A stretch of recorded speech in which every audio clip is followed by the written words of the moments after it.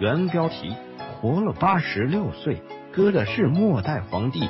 他死后骨灰一半在北京，一半在日本。一九九四年二月二十八日，一位名为普杰的老人在北京病逝，享年八十七岁。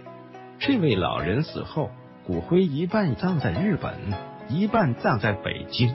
这并不是一个普通的老人，谁能想得到，在几十年前，他还是大清的皇族，是末代皇帝溥仪的亲弟弟。一九零七年四月十六日，溥杰出生在北京的醇亲王府，生父是醇亲王爱新觉罗再封，生母是瓜尔佳氏幼兰。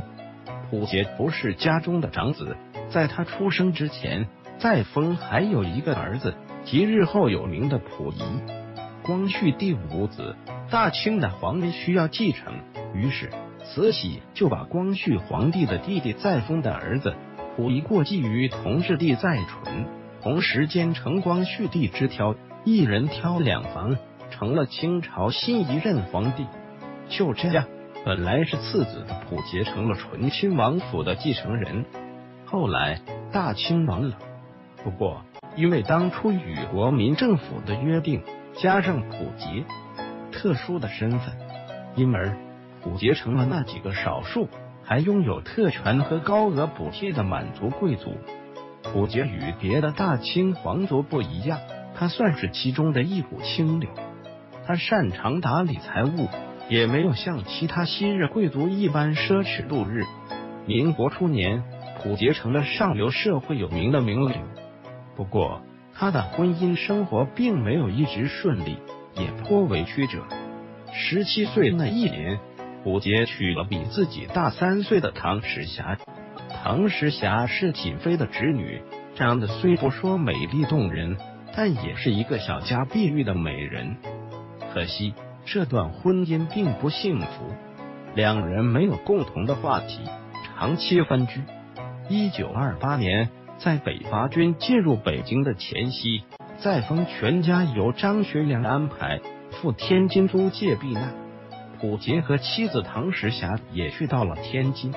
再后来，溥仪成了伪满洲国的皇帝，溥杰也随着溥仪去到了东北。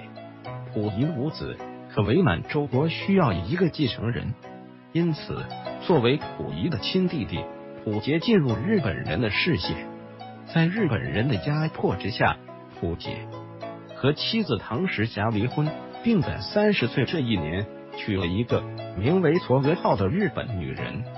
那一年，嵯峨号二十三岁，是侯爵嵯峨公藤的孙女，是侯爵嵯峨十胜与夫人上子的长女，是日本皇室的近亲。谁能想得到，这次被压迫的婚姻，恰恰让溥杰得到了幸福。溥杰和嵯峨号有两个女儿，大女儿惠生，二女儿护生。